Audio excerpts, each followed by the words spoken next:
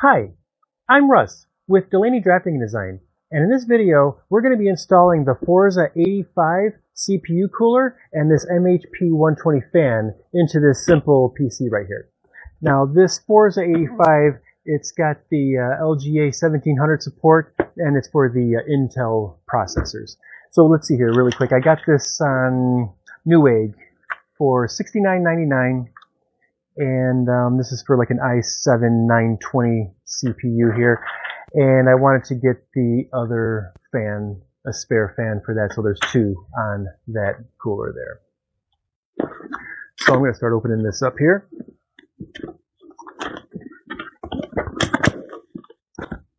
Okay comes packed very nicely. There's the fan.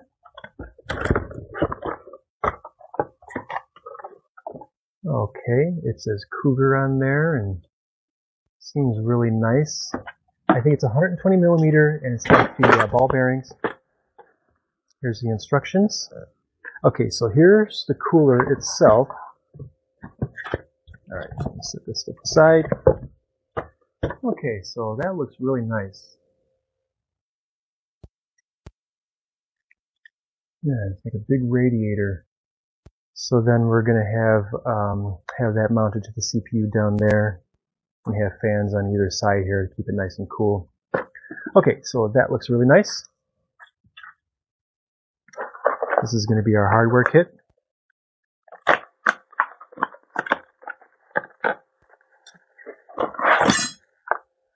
Okay, looks like it comes with everything that we're going to need here. They give you some thermal paste. That's nice. They thought of that. And what do we got here? Some spacers.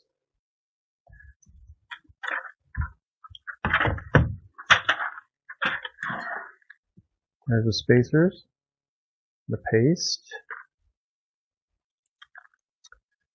Okay. There's these little wheels with some teeth on there. Okay, a couple of springy clips. These are gonna, it's like four of the clips to hold the fan to the radiator. Okay, got the four screws here.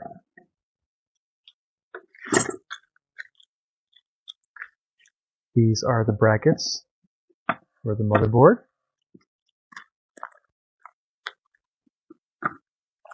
Some more screws.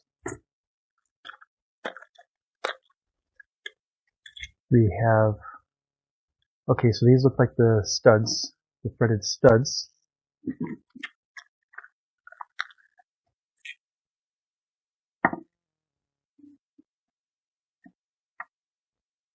These are probably going to work with those studs, I would think. We're going to have to look at the instructions really quick.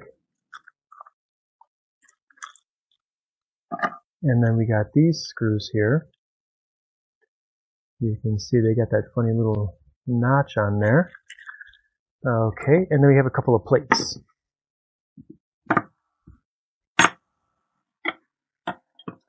So, that's everything that it comes with. Looks like they probably thought of everything there. So, let's bust open this other fan here.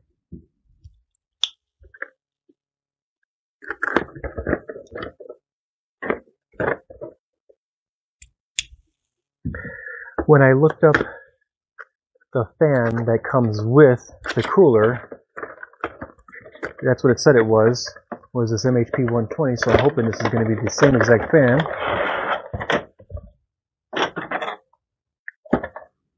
And yes, very good. Alright, so they give you, this is an extension cable. Two, three, of those and then they have low noise adapters. So there are three of those as well. Very nice. Okay, our little instruction booklet. And then let's look at the hardware that they give with the fans.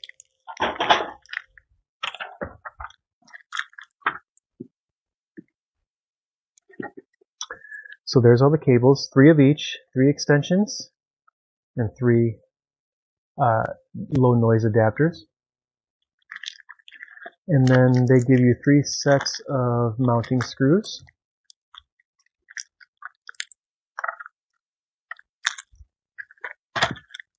That's nice. And then they give you this type of screw too. That's nice.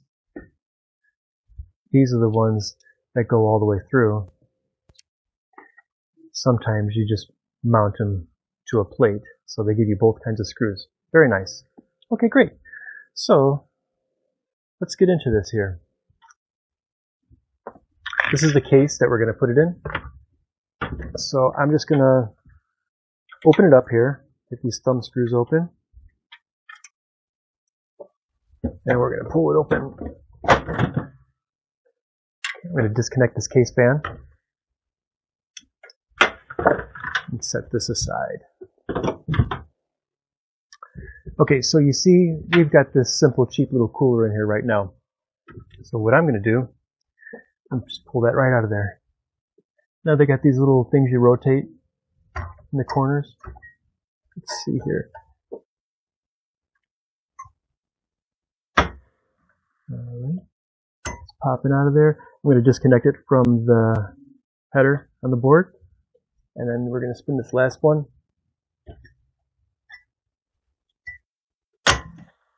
And there we go. Let's see. There it is. Okay, so it's out. We're going to set that aside. And then this is where uh, obviously we're going to mount the new cooler at. But in order to get access to these holes here, I'm going to pull off the back plate of this case.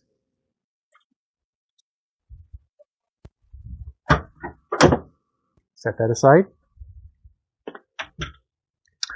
All right, so I'm going to spin this around and, okay, well, as luck would have it, uh, on this side of the case, it's blocking off my access to the, to those holes to mount the CPU. So what I'm going to have to do actually is I'm to have to take some time and pull this motherboard out of there so I can get at the back side of it. So we'll take a cut and we'll come back after that. Okay, so we're back now and I all I did was I just removed the screws holding the motherboard into the case there and I disconnected the wires going to the different headers. And of course I um, also removed the graphics card. So this thing should be ready to pop out right now. So I'm just going to carefully pull it out and watch these cables and get the motherboard out of there. Now we can just work on it right here on the desk. So why don't I take this and set it aside for now, and then we'll be working on this motherboard here. A little dusty. Okay, so obviously this is the main spot that we're going to be working on right here. And we're going to access these holes and mount the CPU cooler right down on here. So I took out of the kit, this is the Intel bracket for the backside. And they got these screws that pop in to the top notch there. And you have to rotate them a certain way so they lock into that little notch that's there. It only goes one way. That way when you're tightening the screws, these studs won't just keep spinning. So again, I'm going to rotate this until it gets into that position, and there you go. So now it's not going to rotate anymore. So what we're going to do is we're going to take this bracket and we're going to put it on the back side of the motherboard.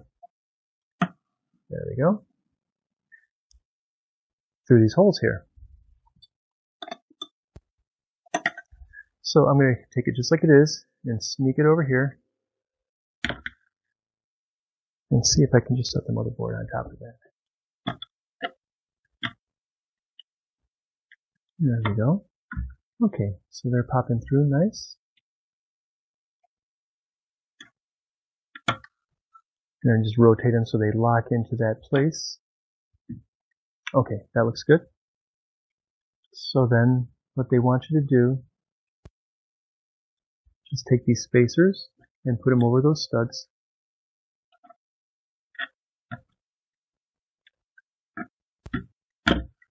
There we go. And then we're going to put the brackets on. they show you in the instructions here the orientation for the brackets. So these little corner flanges point outward. So we're going to go ahead like that. Put that one there. And then this one's going to go here. Like that. This is going to give us a spot to mount the cooler to. So you take these little thumb screws and tighten them down on there.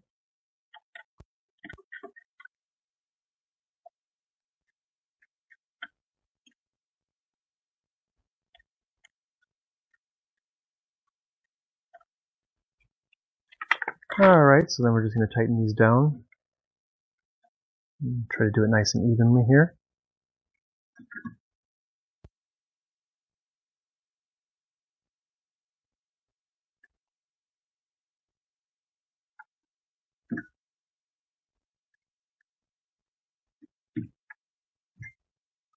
Okay, that's good. And that's what it looks like from the back side. And you see I left the factory plate on there. That's how they want you to do that. This bracket that they give you goes right over that. Okay, so that looks very good. So we're going to start mounting the fan here pretty soon. And you see there's some paste left over from before. So I'm just going to take a paper towel and a little bit of alcohol and wipe that off of there to clean it up a little. We're going to put just new paste on there. And I like to have it clean before we put the new paste down. Okay, it's nice that they give you this paste with it, this Cougar paste, but I like this TG50, so I'm going to go ahead and apply some of that on there. Not too much. I sometimes do it like this, do one kind of bigger glob in the center, and then do four smaller ones out in the little corners here. Don't put a ton of it on there. I think that'll be good. There we go. Okay, set this aside. And then now we're going to get the cooler in place. Oh, and uh, they got this protective plastic film on there. You want to peel that off first, of course. All right. So let's see what the orientation is here.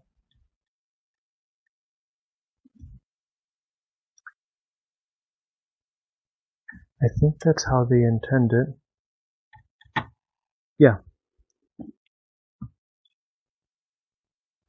Yeah, because we're going to have another fan right here, and that's that's not going to fit if we have it like that. So having it like this is going to allow us to have a fan right here and then a fan right there. So that looks good. Why don't we go ahead and screw that down? Now this is something that you want to do evenly because that that paste is under there and you want it to be a nice thin even film. So what we're going to do is we're going to grab a couple of threads on this side and screw it down and then we're going to do the same thing on the other side. Alright, so I'm going to tighten this one down here. They give you a, a, hole all the way through the radiator to reach that screw down there. So that's nice. Again, I'm going to just do a few threads there, then go to the other side and do a few threads here. Do this nice and evenly.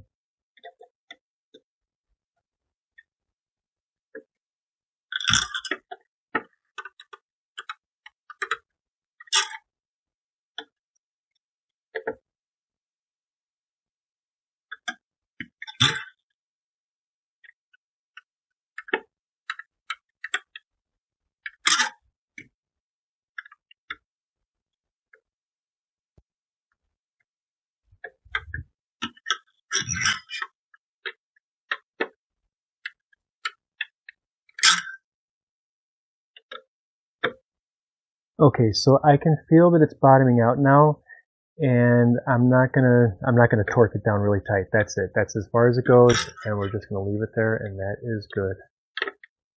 Same thing on this side. It's done. Great, so let's get those mounted on there. So now we're gonna put the fans on there. First, what I'm gonna do is I'm gonna take a look and make sure these are my screws to mount the board back into the case. And I want to make sure that I'm going to be able to access those screws because maybe I might want to put these fans after I get the case, uh, this the, the motherboard mounted back into the case. So that's all I'm doing right now is I'm looking it over to kind of make this assessment.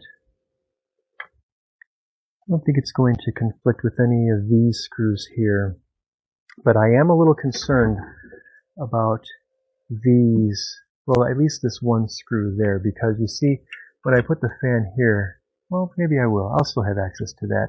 So yeah, let's go ahead and put these fans on. Alright, so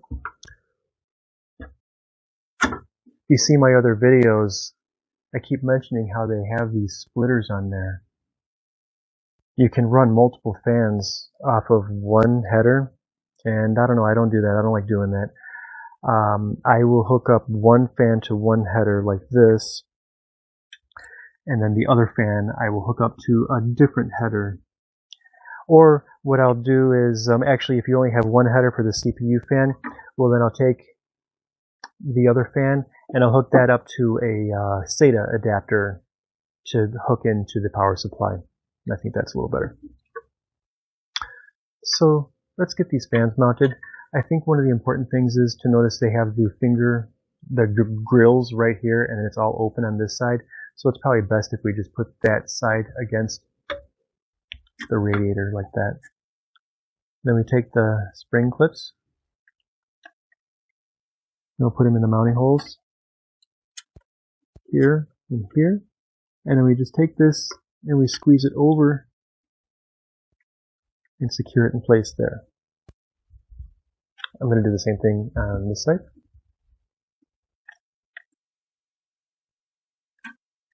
In that mounting hole and this one down here, pull it back, secure it in place.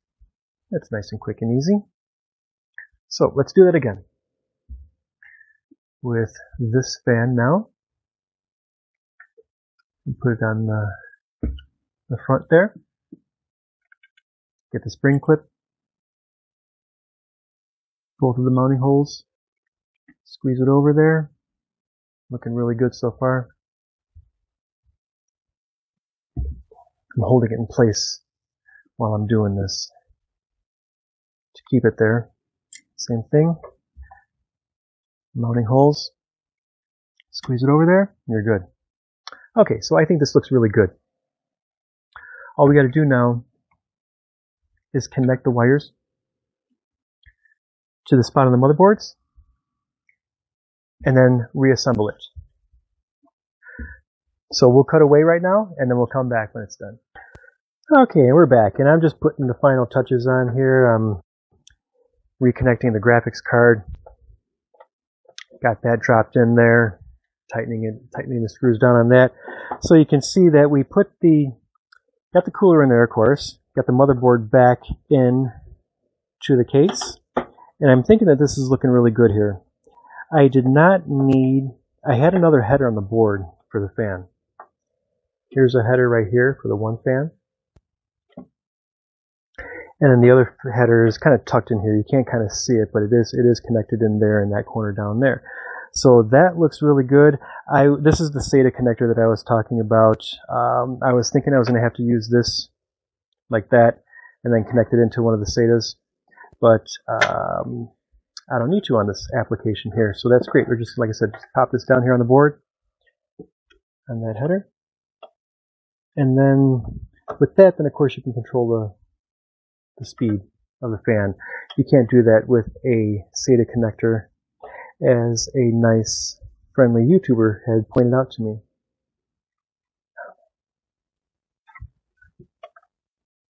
There we go. So then that's reconnected. So again, I think this looks really good here. That's how it looks in the case. We still have clearance for everything like our RAM, our graphics card, our power supply, case fans and stuff like that.